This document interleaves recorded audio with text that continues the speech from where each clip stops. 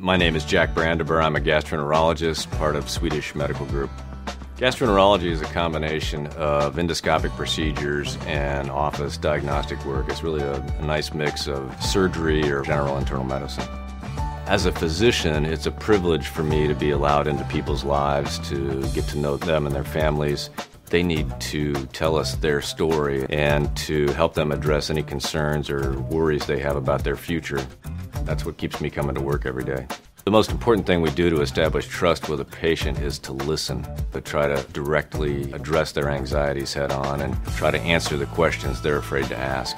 Well, one of the benefits of a patient choosing Swedish Medical Center is the exposure to a vast array of resources, hundreds of providers, in a growing integrated network uh, with an electronic medical record and the latest technology available in healthcare.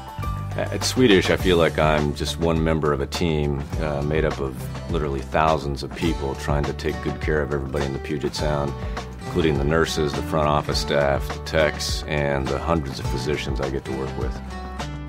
I want each patient that I treat to understand that I'm going to provide the best care I can and to try to provide the same level of service that I would expect for myself or a member of my family.